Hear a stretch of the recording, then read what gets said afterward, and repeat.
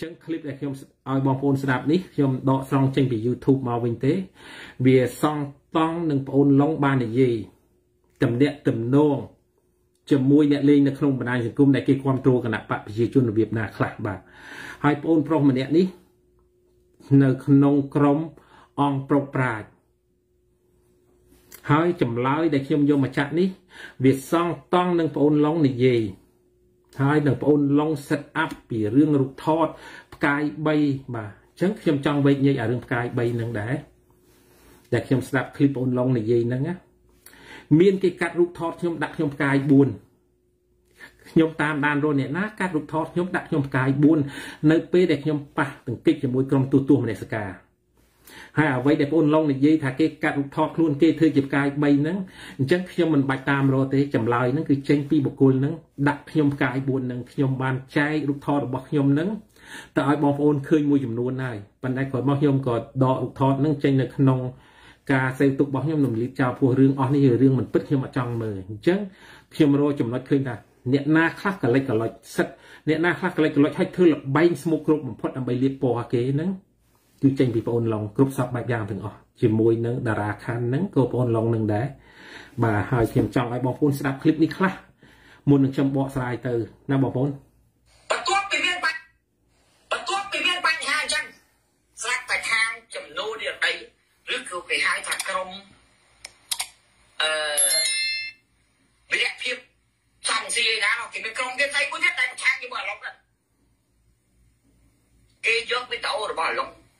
មួយដែលសារភាពថាខ្លួនជាអ្នកកាត់តរូបពាក្យផ្កាយ3នឹងមែនណាលើសុំចាក់វីដេអូហ្នឹងបានឃើញរូបនឹងហើយឃើញគេបង្ហោះសំបីតែដាលេអុយក៏មិនដឹងថាខ្ញុំធ្វើសំបីតែអ្នកគ្រប់ទូទួលមនសិការក៏អត់ដឹងថាខ្ញុំធ្វើដែរគ្មានអ្នកណាដឹងថាខ្ញុំធ្វើទេ នៅក្នុងគ្រប់ទូទួលទូទួលសម្លេងមនសិការគាត់អត់ដឹងទាំងអស់ខ្ញុំអត់ប្រាប់ដាលេអុយក៏មិនប្រាប់បងសេរតនាក៏មិនប្រាប់រូបអ្នកផ្សេងផ្សេងខ្ញុំមកប្រាប់ទាំងអស់ប៉ុន្តែនេះមានតែសំយល់វាងនេះមិនដឹងជាអ្នកណាគេទេដឹងដឹងពវៀនខ្ញុំនេះបងប្អូនមិនឃើញទេក្រុមអ្នកដែលគ្រប់គ្រងអារាំងស៊ីមកភាគីទេនោះគេបានផុស ហើយមានទាំង account profile គេទៀតកុំឲ្យថាយើងអ្នកធ្វើវីដេអូហ្នឹងអ្នកផុសមានតែ account profile គេឈ្មោះស្អីគេមិញសុខាហ៊ីអីមិញចូលទៅមើលទៅឃើញហើយគេចាប់ដើមចោលដល់ឡងដល់ចាប់ដើមចោលដល់គេគេចាប់ដើមចោលដល់ព្រោះពីមុនគេសង្ស័យទេបាទតែពេលហើយអាឡងគឺថាតាក់ទងមួយអ្នកទៀតញឹកញាប់អីតាក់ទងមួយពូជេបសុកញឹកញាប់ដល់ពេលគេចាប់ដើមសង្ស័យឡើយនឹងដល់បាទចាប់ដើមដល់ អឺចំណុចនេះបងប្អូនចឹងខ្ញុំសិក្សាคลิปនេះ3ថ្ងៃហើយខ្ញុំសិក្សាអំពីคลิปអូនឡុងហ្នឹង3អាទិត្យដើម្បីតាមដានក្នុងការ investigation របស់ខ្ញុំនឹងតើបងអូនឡុងនឹងមានតំណែងតំណងជាមួយបងអូនប្រុសនេះហៅឈ្មោះអ្នកទេពតែឈ្មោះពុតប្រកាសខ្ញុំអត់ដឹងទេដែលបងអូនប្រុសនេះនៅក្នុងបណ្ដាញសង្គមអង្គប្រុកប្រាជ្ញរបស់លោកខាន់សវណ្ណបាទអញ្ចឹង ខ្ញុំដកត្រង់ចេញពី YouTube អញ្ចឹងអ្វីដែលប្អូនឡុងបាននិយាយមកហ្នឹងអ្វីដែលគេធ្វើទាំងប្រមាណហ្នឹងក្នុងក្រមទូទស្សនសការហ្នឹងក៏គេអត់ដឹងដែរប៉ុន្តែបើបងប្អូនចូលទៅមើលឃ្លីបហ្នឹងបងប្អូនចូលទៅមើលឃ្លីបហ្នឹងនៅមេនៅពេលដែលប្អូនឡុងនិយាយឃ្លីបហ្នឹងសេមញូលវែងហ៎សេមញូលវែងហ្នឹងប្អូនប្រុសឡុងហ្នឹងសោកនៅក្នុងចិត្តខ្លួនឯងហើយភ្នែកហ្នឹង រឿងធ្លាក់ចុះបន្តិចបានន័យបង្ហាញថាសេមញូលវែងហ្នឹងក៏ជាប្អូនឡុងនឹងដែរដូចជាតារាខណ្ឌដែរបាទ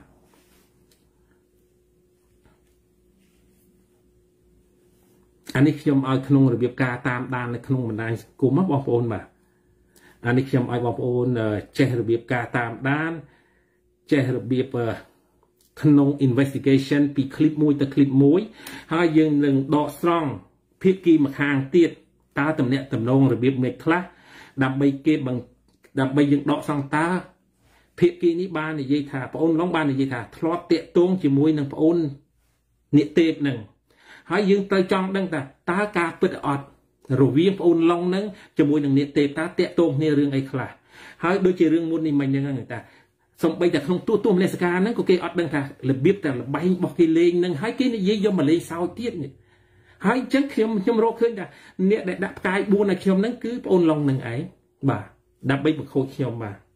អញ្ចឹងក៏សូមស្ដាប់คลิปនេះតទៅទៀតបាទមាន4คลิปតែវាខ្លីៗពេកលោកស្រីសង្ឃុំមាននិយាយដល់ពាក្យថាអាចនឹងបាញ់ក្បាលពួកឯចោលទៅទៀតបើសិនជាឯងនៅតែលៀបពួកអញនៅតែចោលអញក្រុមកការគេកៃអីអញបាញ់ក្បាលឲ្យចោលទៀតនេះរឿងមិនធម្មតាណាបងប្អូនណា ចឹងអានេះមកពីបងទឿឡងឯទេនៅនៅទៅប្រហើបនិយាយតែខ្ញុំដែរនិយាយណាបងប្អូនដល់ដែរលឺខ្ញុំនិយាយខ្ញុំដែរនិយាយទេចាំនិយាយដល់ប្រហើបពុនណាតែធ្វើមិនទៅគេខំមកសួរគ្រប់គ្នាចឹងហើយបន្ថែមឡើយទៅឲ្យតែបែរដឹងរឿងអស់គ្នាបាទដឹងរឿងអស់គ្នាចឹងសកម្មភាពតាមពិតជាមានចាក់តងនេះយ៉ាងទៅបានប៉ុន្តែនិយាយរឿងអីឬមួយក៏និយាយពីបញ្ហាអីអត់នេះខ្ញុំសូមទុកឲ្យឆ្ងល់ពីព្រោះវាជា personal ណាជា personal បាទមិនអាចប្រាប់ចឹងបានទេបើប្រាប់ចឹងអ្នកដទៃមិនខលមកខ្ញុំតែគេលែងនិយាយមកខ្ញុំមកបើនិយាយទៅនិយាយមកនេះទៀតធ្លានិយាយមកនេះទៀតគេអត់និយាយទេគេអត់និយាយទេចឹងឡើយសូមការអនុគ្រោះផងអ្នកដែលខលមកសួរណាខាងបងប្អូនដែលមានចំនួនជាមួយអាឡុងដែលខលមកសួរខ្ញុំសូមការអនុគ្រោះផងមិនអាចប្រាប់បានទេហើយសូមតែបងសូមតែបងប្អូនខលមកសួរខ្ញុំនោះពួកខ្ញុំអត់បញ្ចេញតែគេខ្ញុំអត់បញ្ចេញគ្នាគាត់តែប្រាប់ថាពិតជាមានខលមែនគាត់តែប្រាប់តាមតែប៉ុណ្្នឹងឯងបាទលើពីហ្នឹងអត់លើពីហ្នឹងតែរួចទេបាទបាទអឺចំណុចនេះដែរអញ្ចឹងបានថាបងប្រុសម្នាក់នេះឆ្លើយសារភាពថាមានការតាក់ទងមែនបាទជើរវាងរវាងបងឡុងហើយនឹងបងប្រុសនេះនេកទេពបាទនេកទេពឬមួយក៏នេកចលេនអីក៏ដោយខ្ញុំអត់ដឹងអញ្ចឹង ចម្លើយមកក្នុងការ investigation របស់ខ្ញុំក្នុងការតាមដានក្នុងបណ្ដាញសង្គមនឹងរយៈ3អាទិត្យហ្នឹងបាទអញ្ចឹងមានការតំណាក់តំណងគ្នាជាមួយបងនេកទេពមែនហើយបងនេះបាននិយាយទៀតអញ្ចឹងបងប្អូនស្ដាប់មិញខ្ញុំចង់ដឹងថាបងប្អូនស្ដាប់តន់អត់ទេណាអញ្ចឹងបងប្រុសនេះបាននិយាយថា គេអត់និយាយមុនទេអ្វីដែលបងឡងបានបង្ហើបនឹងក៏គេបានសារភាពថា មានការតាក់ទងមែនអញ្ចឹងអាការតាក់ទងទាំងអស់នេះ ធ្វើឲ្យបញ្ហាបណ្ដាញសង្គមរបស់ទូទួលអ្នកសការនឹងហើយដែលការសង្ស័យរបស់ពួកយើងតើវាមានរឿងអីខ្លះคลิกคลีដល់រដ្ឋាភិបាលក្នុងការបង្ហោះវីដេអូក្តីក្នុងការធ្វើអីក៏ដោយនៅវត្តភ្នំសេរីនឹងតើចេញពីអ្នកណា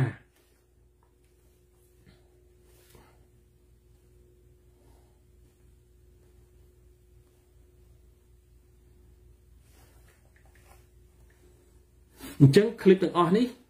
ខ្ញុំមិនទាន់ថាពិតប្រកបឬមួយមិនពិតប្រកបទេសូមឲ្យបងប្អូនទាំងអស់គ្នាវិនិច្ឆ័យក្នុងការ investigation យើងត្រូវចំណាយពេលយូរបន្តិចទៅថ្ងៃមុខហើយអ្វីដែលបងប្អូនចង់ដឹងទៅថ្ងៃមុខទៀតឲ្យយើងក្នុងការចូលរួមបញ្ចេញមតិឬមួយជាអ្នកវិជាធិបតេយ្យល្អកុំឲ្យការធ្លោះធ្លួយលេចធ្លីអីក៏ដោយយើងត្រូវតាមដានទៀតបាទសូមនេះហើយ បងឡុងបានឆ្លើយថាមានតំណែងតំណងជាមួយបងនេកទេពមួយស្អីស្អីអញ្ចឹងទៅហើយនេកទេពនេះគេអត់ទាន់និយាយទេដោយសារការបញ្ចេញមតិរបស់បងឡុងហើយបានទើបនេកទេពនេះបង្ហើយតែយើងចង់សួរថាគេបានសារភាពឯទោះបីយើងចង់តាក់ទងសួរគេក៏គេមិនឆ្លើយប្រាប់ដែរអញ្ចឹងយើងកុំចំណាយពេលជាមួយបងប្រុសនេះស្អីអញ្ចឹងយើងតាមដានតទៅទៀតហើយឲ្យបងប្អូនតាមដានក្នុងបណ្ដាញសង្គមតែធ្វើឲ្យសង្គមរបស់យើងវល់សពថ្ងៃនេះដោយសារអ្នកណាសូមបងស្ដាប់ឃ្លីបនេះទៀតមិញគេដាក់រូប3នាក់បងប្អូន មានមិនឃើញទេរូបអាឡុងអាឡុងវាអ្នកហៅគេក៏កាគេកៃរឿងហ្នឹងតែគេចិត្តតាមដានអាឡុងរហូតមកពីណាអាហ្នឹងមកពីណាដែលវាវាដើរលៀបពណ៌អ្នកដែលគ្រប់គ្រងសាមង្ស៊ីនៅសហរដ្ឋអាមេរិកចាស់ចាស់ហ្នឹងក្រុមកងការកេកៃបន្ទាប់មកទៀតមានបុនតេញទៅមួយទៀតបុនតេញមួយទៀតក៏ហៅអ្នកដែលរស់សហរដ្ឋអាមេរិកចាស់ចាស់ហ្នឹងកងការកេកៃឯរូបកដានេះឈ្មោះតារាខណ្ឌរូបតារាខណ្ឌនេះជាបពពួករបស់ នាយលឿនាយនាយឡងទឿហ្នឹងជាបពពួកដែលចូលរួមលោកទំលាយរឿងលោកហៃថាសវុតចៃលុយនិយាយទឿឡងនឹង200អីតារាខាងទំលាយទាំងអស់ទំលាយរឿងចំតោនេះអីហ្នឹងមកតាក់តងប្រុសនៅស្រុកខ្មែរណាតារាខាងដើរតួទំលាយរឿងទាំងអស់វល់វិញ Facebook ទាំងអស់ចឹងពួកនឹងគេតាមតាមមើលអាតារាខាងនេះណាឥឡូវគេរកឃើញហើយតារាខាងនឹងជាក្រុមបកពួករបស់អង្គទឿឡងហ្នឹងកន្លែង រឹតតែឈ្ងន់ឯរឿងរឿងប៉ុតបន្តិចក៏គេសង្ស័យទៅទៀតរឿងប៉ុតបន្តិចគេសង្ស័យប្រហែលនេះឡងទៀតគេសង្ស័យថាជាមនុស្សដែលគេបញ្ជូនទៅក្រៅគេហ្នឹងណាគេគាត់ថាប៉ាអីចឹងទៅបញ្ជូនទៅក្រៅអីចឹងទៅអាហ្នឹងខ្ញុំសូមមិនដឹងទេបាទសូមអត់ដឹងរឿងចំនួននោះទេប៉ុន្តែប្រធានបទនេះខ្ញុំចង់ ជំរាបជូនដើម្បីបញ្ជាក់ភាពស្អាតស្អំខ្ញុំចង់ជំរាបជូនថានីទឿឡុងពិតជាមានការតំណាក់តំណងខលនិយាយគ្នាជាមួយអ្នកទេពញឹកញាប់មែនឯរឿងនិយាយរឿងអីខ្ញុំសូមលាក់សិនទុកឲ្យឆោតចំណុចនេះបើសិនជាបងប្អូនចូលទៅមើលក្នុងคลิปរបស់បងប្អូនអ្នកទេពហ្នឹងនៅពេលដែលបងប្អូនអ្នកទេពហ្នឹងឆ្លើយថាទោះបីខលញឹកញាប់មែនមានរឿងអីក៏ដោយប៉ុន្តែបងអូនប្រុសនេះទឹក ទម្លាក់ទឹកមុខចុះទម្លាក់ទឹកមុខចុះហើយភ្នែករៀងបិទម្ខាងហើយដូចថាអ្វីដែលបងអូននេះនិយាយហ្នឹងដូចថាផែជានិយាយជ្រុលចង់លាក់ការរឿងហ្នឹងដែរហាក់បីដូចជានិយាយជ្រុលយើងមើលទឹកមុខបងអូនបងអូនប្រុសនេះហាក់បីដូចនិយាយជ្រុលហើយអត់មើលមកខេមរ៉ាទេបាទអត់មើលមកខេមរ៉ាឲ្យមហាជនឃើញមាត់និយាយទេអញ្ចឹងបងអូនប្រុសនេះធ្លាក់ទឹកមុខទម្លាក់ទឹកមុខចុះហើយ ភ្នែករៀងដូចដូចថានិយាយហើយវាជ្រុលរវាងប្អូនឡុងហើយនិងប្អូននេះប្រហែលជាមានកិច្ចកិច្ចសន្យារឿងសម្ងាត់អីមួយដែលយើងអត់ដឹងអញ្ចឹងយើងយើងត្រូវតាមតាមទឹកមុខអ្នកនិយាយហ្នឹងបាទហើយទៅតាមដានទឹកមុខប្អូនឡុងដែលនិយាយថាបានតាក់ទងជាមួយប្អូននេះទេមែនប៉ុន្តែប្អូនឡុងនិយាយក្នុងការញញឹមសោចសបាយអ្វីដែលគេមានគោលបំណងធ្វើ ដើម្បីជះឥទ្ធិពលអ្នក ប្រជាធិបតេយ្យនៅឯនេះសមុទ្រធ្វើឲ្យរំខានធ្វើឲ្យឆ្លោះគ្នាបែកបល់គ្នានឹងវាមានខ្សែរយៈតាក់ទងគ្នាជាមួយនឹងបងប្អូននេះទេពហ្នឹងបាទនេះជាអានេះយើងមើលទឹកមុខណាបងប្អូនអានេះខ្ញុំក្នុងការបញ្ចេញមតិក្នុងការចំណាយពេលតាមដានរបស់ខ្ញុំខ្ញុំចំណាយពេលច្រើនដែរបាទហើយខ្ញុំមានចាប់អារម្មណ៍คลิปមួយទៀតคลิปមួយទៀតនេះតិចទេលោកជឿនោះជាជនបង្កប់បងប្អូនមិនជាជនបង្កប់តែ ទើបទៅរស់នៅសហរដ្ឋអាមេរិកក្រោយក្រោយដែលគេបញ្ជូនទៅពីព្រោះមិនបានបង្កប់នេះឡងទឿនឹងដើរញុះញង់អ្នកដែលគ្រប់គ្រងរាំងស៊ីចាស់ចាស់នឹងវាយអានេះផងវាយអានោះសំបែអសតារាក៏ឡងទឿវាយដែរយើងនិយាយមែនទេបាទប៉ុន្តែចំណែកនេះឡងទឿគាត់ជានរណាគឺយើងអត់ដឹងទេណាអ្នកទេអត់ចង់ជម្រាបជូនបងប្អូនប្រិយមិត្តទេបាទ ចំណុចនេះនាគទេពបាននិយាយថានាគទេពអត់ចង់ជម្រាបពិតប្រកបទេប៉ុន្តែនាគទេពអញឹមបាទអញឹមយើងមើលវីដេអូហ្នឹងបងប្អូនបើកឲ្យពេញ screen និយាយទៅនាគទេពអញឹមអញ្ចឹងការញញឹមរបស់នាគទេពហើយនឹងការនិយាយពីមុនមកទាំងប្រមាណហ្នឹងប្រកាសជាមានតំណែងតំណងជាមួយនឹងបងអូនឡុងបាទហើយក៏ខ្ញុំមិនចោទបងអូនឡុងថាជាជនបង្កប់ដែរអ្នកទាំងអស់គ្នាវិនិច្ឆ័យទៅ ហើយអ្វីដែលបងអូនឡុងបានចោទមកខ្ញុំ ជាជនបង្កប់នឹងជាសិទ្ធិសេរីភាពរបស់បងអូនទេខ្ញុំនៅតែខ្ញុំដដែលខ្ញុំកំពុងតែរស់នៅសហរដ្ឋអាមេរិកនេះដែរបាទអញ្ចឹងខ្ញុំចង់ជម្រាបអញ្ចឹងហើយខ្ញុំអរគុណចំពោះទូទួលមនសិការដែលខ្ញុំមើលคลิปខ្លះហើយនឹងមហាជនជាខ្លះបានវាយប្រហារមកលើរូបខ្ញុំនឹងក្នុងរាត្រីនេះខ្ញុំក៏នៅឆ្លើយតបក្នុងជាសាធារណៈ ឲ្យស្វែងយល់ទាំងអស់គ្នាទៅបាទស្វែងយល់ទាំងអស់គ្នាទៅបាទរវាងខុសហើយនឹងត្រូវហើយយើងធ្វើអ្វីមួយឲ្យល្អទៅថ្ងៃមុខទៅបាទបាទកុំបំផ្លាញគេកុំបំផ្លាញជីវិតគេដើម្បីសេចក្តីសុខខ្លួនឯងបាទកុំសបាយនៅលើកំណត់ទុកអ្នកដតីឲ្យសោះបាទចង់ជម្រាបទៅបងអូនឡុងអញ្ចឹងបាទ អ្វីដែលបងអូនធ្វើស្មោកគ្រោកទាំងប្រមាណមកហ្នឹងក្នុងទូទួលអ្នកសការហ្នឹងលេងសើចនៅក្នុងបណ្ដាញសង្គមហ្នឹងយកឈ្មោះគេទៅលេងសើចដោយបងអូនតលេអីធ្វើផឹកស្រាយកទៅលេងសើចហ្នឹងជាអំពើមួយថោកទាបទីបំផុតមិនមែនជាលក្ខណៈខ្មែរទេបាទជាថោកទាបទីបំផុតបាទអ្វីក្នុងបណ្ដាញសង្គមទូទួលអ្នកសការបានធ្វើមកទាំងប្រមាណហ្នឹងមកធ្វើមកលើចំពោះខ្ញុំខ្ញុំអត់មានឲ្យតម្លៃទេជាអំពើមួយថោកទាបជាទីបំផុតពួកអ្នកឯងនេះបាទ ពួកអ្នកឯងនេះធ្វើអំពើថោកទាបជាទីបំផុតមកចំពោះលើខ្ញុំខ្ញុំអត់មានគោរពអ្នកឯងតទៅទៀតទេអ្វីដែលអ្នកឯងបានធ្វើមកលើខ្ញុំសូមកុំភ្លេចណាបាទអ្នកឯងរៀនសូត្រចេះដឹងពី7មករាហើយអ្នកឯងទៅមករស់នៅសហរដ្ឋអាមេរិកនេះដើម្បីកម្ចាត់គេហ្នឹងធ្វើឲ្យច្បុកច្បល់ទាំងអស់ក្នុងនយោបាយចុងក្រោយនេះគឺដោយសារក្រមទូទស្សនអ្នកសការហ្នឹងបាទអ្វីដែលអ្នកអាចធ្វើទាំងប្រមាណនេះកំពុងតែ គ្រាន់ជាយកផ្ទាំងមួយល្អបំផុតដើម្បីដាក់នៅពីមុខអ្នកឯងថាអ្នកឯងជាអ្នកស្នេហាជាតិជួយអ្នកប្រជាធិបតេយ្យអស់ហ្នឹងកង្វើថោកទាបរបស់អ្នកឯងដែលស្ដាប់បានទាំងប្រមាណនេះគឺពួកអ្នកឯងបានធ្វើរួចទៅហើយបានធ្វើឲ្យខូចខាតអ្នកប្រជាធិបតេយ្យនៅសហរដ្ឋអាមេរិករួចទៅហើយបាទនេះជាកង្វើថោកទាបរបស់អ្នកឯងចំពោះអាឡុងហើយនឹងទូទស្សន៍អ្នកសការរួមគ្នា កំពុងតែអំនួតអ្វីដែលអ្នកឯងធ្វើមកនឹងថាអ្នកឯងអស្ចារ្យណាស់ការពារវត្តភ្នំសេរីលុះខ្សៃខ្ញុំសូម កោតសរសើរការពារវត្តភ្នំសេរីលុះខ្សៃហ្នឹងបាទវាល្អហើយ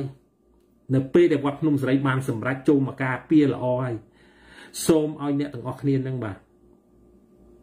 ជួយឃោសនាវត្តភ្នំសេរីនឹងឲ្យប្រជាពលរដ្ឋបានមកចូលរួមឲ្យបានមានថវិកាកាន់តែច្រើនទៅថ្ងៃមុខទៀតខ្ញុំសូមជូនពរឲ្យមានជ័យជំនះគ្រប់ភារកិច្ចបាទអ្វីដែលអ្នកឯងធ្វើហើយក៏សូមកុំភ្លេចដែរការចូលរួមកសាងវត្តភ្នំសេរីនេះបាទអ្នកដែល ជួយនឹងបាទ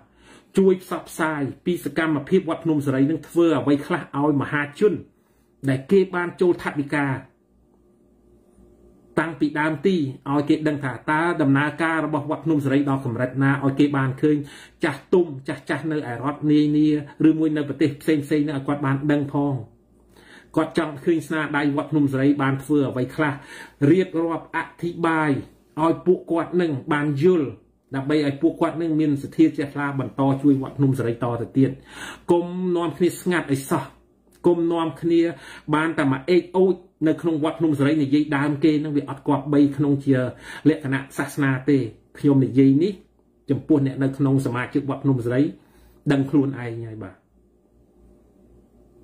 ដឹងខ្លួនឯងហើយហើយក៏ខ្ញុំសូមជម្រាបបងប្អូន ការលេងក្នុងបណ្ដាញសង្គម Facebook ជាអ្នកកណ្ដាលនេះគ្រោះថ្នាក់បំផុតបាទគ្រោះថ្នាក់មែនទែនយើងលេងក្នុងបណ្ដាញសង្គមនេះដើម្បីស្ថាបនាដើម្បីរិះគន់ទៅវិញទៅមកក្នុងរយៈពេល10ឆ្នាំនេះតែយើងខាតផលប្រយោជន៍រវាងចំណងមិត្តភាពក្រុមគ្រួសារផ្ទាល់ខ្លួនផង ចំពោះឪពុកម្ដាយផងបាទ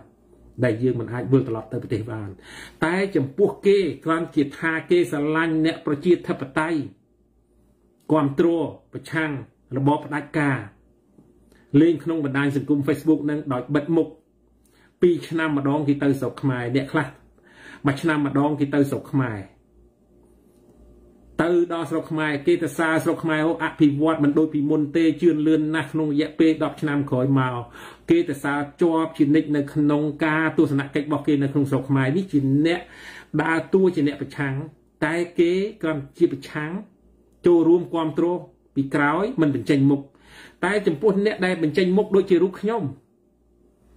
និយាយប៉ះពាល់គេចោទតែយើងជាជនក្បត់ជាតិជនបង្កប់តើបងប្អូនឈឺចិត្តទេកង្វើដែលធ្វើទាំងប្រមាណមកលើរូបខ្ញុំនេះដែលអ្នកទាំងអស់គ្នាអត់ប៉ះនោះអ្នកទាំងអស់គ្នាអត់ដឹងរសជាតិការឈឺចុកចាប់វាមិនទេលើកលែងអ្នកទាំងអស់គ្នានឹងជួបប្រទេសរឿងនឹងដូចរឿងខ្ញុំបានដឹងថាការឈឺចុកចាប់របស់ដែលគេបានមកធ្វើលើខ្ញុំអញ្ចឹងខ្ញុំឃើញមួយចំនួន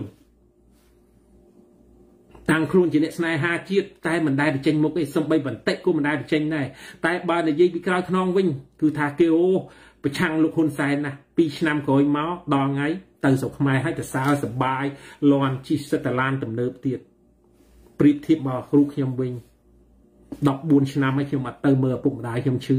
ហើយបែរជាអ្នកឯងនិយាយពីអាក្រក់ខ្ញុំវិញសួរថាអំពើអ្នកឯងកំពុងនិយាយនឹងថាអ្នកឯងនឹងអស់ចាណាស់ដែរគ្រាន់ជាការសុំកលុំគ្នា លើកបុគ្គលម្នាក់ថាជាស្នេហាជាតិអស់ចាប៉ុណ្្នឹងទេតែគ្មានអីអស្ចារ្យចំពោះខ្ញុំទេខ្ញុំនិយាយនេះខ្ញុំមិនចង់ឲ្យប៉ះពាល់ស្តិអារម្មណ៍អ្នកដែលបានបំព្រឹត្តមកលើរូបខ្ញុំនឹងបាទ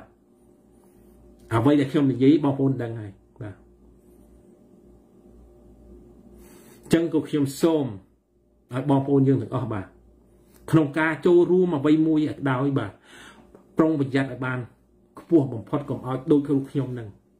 ដែលខ្ញុំជួបប្រទេស ដែលខ្ញុំមានវិបដិសេរីខ្លួនឯងបាទដែលមិនអាចទៅជួយមើលឪពុកម្ដាយខ្ញុំឈឺបាននោះបាទត្រូវបានគេចោទគ្រប់សពបែបយ៉ាងទាំងអស់ទៀតតែចំពោះគេប្រឆាំងរដ្ឋាភិបាលតែមាត់ក្រៅទេដល់ថ្ងៃគេទៅលេងស្រុកខ្មែរដើរលេងជាមួយបងប្អូនរបស់គេគ្រប់សពបែបយ៉ាងទាំងអស់នេះខ្ញុំចង់ឲ្យបងប្អូនប្រៀបធៀបចំណុចហ្នឹងអញ្ចឹងអញ្ចឹងក៏ខ្ញុំសូមឲ្យបងប្អូនដែលរស់នៅសហរដ្ឋអាមេរិកហ្នឹងបាទ បើកចិត្តឲ្យតលីទាំងអស់គ្នាទៅកុំចោទថាអ្នកណាជាជនបង្កប់តទៅទៀតចំណុចដែលជនបង្កប់នឹងវាអត់មានទេសពថ្ងៃនេះគណៈបកប្រជាជន គេបង្ហាញរូបគេពិតប្រកបហើយគេសបាយពីភូមិភាគខាងលិចរហូតដល់ភូមិភាគខាងកើតគេបង្ហាញការពិតអ្វីដែលគេចូលរួមគោរពពិធី7មករានោះដែលមានចំនួនមនុស្សកកកនោះរាប់រយនាក់នោះបាទត្រូវត្រូវប្រៀបធៀបចំណុចនឹងផង ហេតុអីក៏បងប្អូនមិនទៅទៅធ្វើបាតកម្មមុខដែលគេកំពុងធ្វើបាតពងផារី7មករានៅតាមភោជនីយអាហាររៀងរៀងខ្លួនហ្នឹងបាទហេតុអីក៏បងប្អូនមិនទៅធ្វើបាតកម្មហេតុអីក៏បងប្អូនមកព្រួតគ្នាខំខ្ញុំម្នាក់ឯងនោះដើម្បីគាត់ចិត្តអ្នកណាដើម្បីគាត់ចិត្តព្រះសង្ឃស្នេហាជីពមកសម្រាប់ខ្ញុំម្នាក់ឯងរហូតដល់ចោតខ្ញុំ9វិជ្ជការ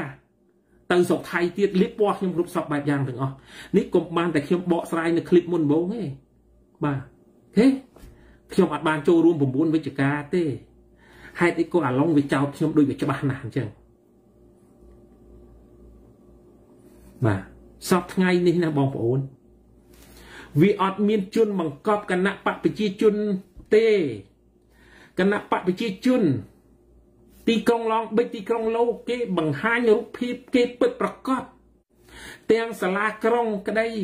គេគ្រប់គ្រងគណៈបកប្រជាជនទៅហើយ នៅទីក្រុងឡូនេះតំណាងចវាយក្រុងឬមួយក៏តំណាងសង្កាត់ទាំងអស់ហ្នឹងគេចូលរួមគ្រប់គ្រងគណៈបកប្រជាជនដូច្នេះរឿងអីដែលខ្ញុំទៅធ្វើជនបង្កប់ឲ្យគណៈបកប្រជាជននោះបាទបងប្អូនឃើញទេតានៅទីក្រុងឡូនេះ ទីក្រុងឡងបិចនេះឃើញគេធ្វើមិននៅហាក់ហៀងទីក្រុងឡូគេធ្វើមិនកាសការផារីទាំងអស់ហ្នឹងបាទអញ្ចឹងឈប់ទៅឈប់សង្ស័យអ្នកដែលចូលរួមដើម្បីប្រជាធិបតេយ្យដូចគ្នាកុំយកមកលៀបពណ៌បើបងប្អូនមានឱកាសហេតុអីក៏បងប្អូនមិនទៅវាយទៅអ្នកដែលប្រឆាំងវត្តភ្នំសេរីនោះដូចប៊ុននីឃីមលោកហងសវណ្ណឬមួយក៏ចត្រាកែវឬមួយក៏ខាងក្រម និទេពឬមួយអង្គប្រុសប្រាជ្ញនឹងហេតុនេះក៏បងប្អូនមិនងាកទៅវាយគេនឹងទាំងអស់វិញទៅដែលបងប្អូនថាមានសម្ដីល្អល្អនោះហេតុនេះក៏បងប្អូនមកខំខ្ញុំតាមម្នាក់សួរថាជ័យជំនះខ្ញុំម្នាក់នឹងបានអីខ្លះជូនដល់គណៈបករបស់បងប្អូននោះវាអត់មានបានអីបាន0បាទបាន0តែវាខាតផលប្រយោជន៍អ្នកប្រជាធិបតេយ្យបច្ចុប្បន្ននេះខ្ញុំចង់ប្រាប់ថាវាខាតផលប្រយោជន៍អ្នកប្រជាធិបតេយ្យបច្ចុប្បន្ននេះធ្វើឲ្យមនុស្សអស់ទឹកចិត្តដែលចូលរួម ជាមួយអ្នកប្រជាធិបតេយ្យតទៅទៀតក្នុងរយៈពេល2ខែចុងក្រោយនេះដោយសារអីរឿងតូចបំផុតបងប្អូនបង្រិចឲ្យធំហើយបងប្អូនមើលមកខ្ញុំថាខ្ញុំមិនមែននៅក្នុងជួរគណៈបកសង្គ្រោះជាតិទេហើយអ្នកខ្លះក៏គេមិនថាអ្នកនៅក្នុងជួរគណៈបកសង្គ្រោះជាតិដែរហេតុអីបងប្អូនមកចំណាយពេលវេលាមកខំខ្ញុំម្នាក់ឯងសួរតែបានផលប្រយោជន៍អីខ្លះបាទ ក្រុមកការកិច្ចកៃនឹងមិនមែនមានបុគ្គលតែម្នាក់ទេណាបងប្អូនខ្ញុំចង់ជម្រាបក្រុមកការកិច្ចកៃនឹងទូទាំងទ្វីបទាំងនៅក្នុងស្រុកខ្មែរដែលក្នុងឆ្នាំ1979ទសវត្ស80ហ្នឹងដែលភៀសខ្លួនមកដែលពួកគាត់មិនបានចូលក្នុងសាលារៀនសិក្សាឲ្យបានមានចំណេះចេះដឹងខ្ពស់តែចំណេះចេះដឹងមានទាំងប្រមាណហ្នឹងទាំងអក្សរខ្មែរទាំងអក្សរអង់គ្លេសដើម្បីខំតស៊ូក្នុងជីវិតក្នុងការរស់នៅប្រទេសទី3ហ្នឹងគឺដើម្បីអីដើម្បីបណ្ដុះបណ្ដាល ក្មេងចំនួនក្រោយ ចំនួនទី2ពួកយើងដែលមកមុននេះជាចំនួនទី1ដើម្បីបណ្ដុះបណ្ដាលក្មេងចំនួនទី2នឹងឲ្យមានចំណេះចេះដឹង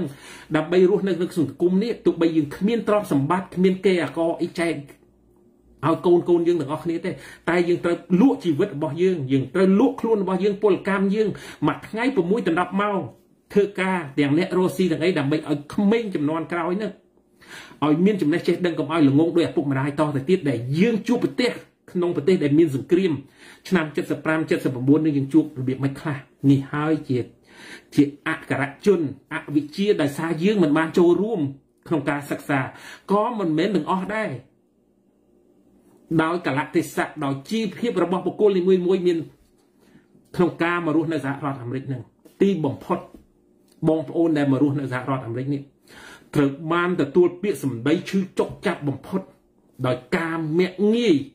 អ្នកដែលរស់នៅសហរដ្ឋអាមេរិកដែលចូលរួមកសាងវត្តភ្នំសេរីមកដល់បច្ចុប្បន្ននេះពាក្យសម្ដីទាំងអស់ហ្នឹងហើយវាជះឥទ្ធិពលធនធ្ងរបំផុតចំពោះប្រជាពលរដ្ឋដែលរស់នៅទសវត្សរ៍80នៅសហរដ្ឋអាមេរិកហ្នឹងដែលពួកគាត់បូជាជីវិតបូជាពេលវេលា បូជាកិត្តិយសទាំងអស់ដើម្បីការពារសន្តិភាពដែលពួកគាត់រស់នៅសហរដ្ឋអាមេរិកពីទីក្រុងមួយទៅទីក្រុងមួយដែលបង្កើតទៅជាហ្គេងដើម្បីការពារសន្តិភាពខ្មែររស់នៅឯនេះសមុទ្រហ្នឹងឲ្យបានសេចក្តីសុខកដុមរមនាមកដល់បច្ចុប្បន្នហ្នឹងដោយសារអីដោយសារពួកគាត់អ្នកមុននឹងឯងសូមកុំឲ្យអ្នកមកក្រោយនឹងប្រមាថមើងងាយគ្នាអ្នកមកមុនតទៅទៀតអ្វីដែលរស់ស្រួលហ្នឹងក៏ដោយសារអ្នកមកមុនដែរអ្នកមកមុននឹងហើយ អ្នកដែលគេការពារ ឲ្យមានសន្តិភាពអ្នកដែលមកក្រោយនៅរស់នៅអាមេរិកហ្នឹងគឺដោយសារអ្នកមុននឹងដែរគុំមាក់ងាយគេតទៅទៀតបើកខួរក្បាលចេះគិតផងគុំអួតតែខ្លួនយើងចេះតែយើងនិយាយអ្វីមួយយើងត្រូវប្រយ័ត្នបំផុតបាទខ្ញុំចេញមកនិយាយនេះខ្ញុំមិនមានពេលនិយាយច្រើនដល់មុខទៀតទេព្រោះគេហាមខ្ញុំកុំឲ្យនិយាយព្រោះខ្ញុំមានបញ្ហាកកបាទ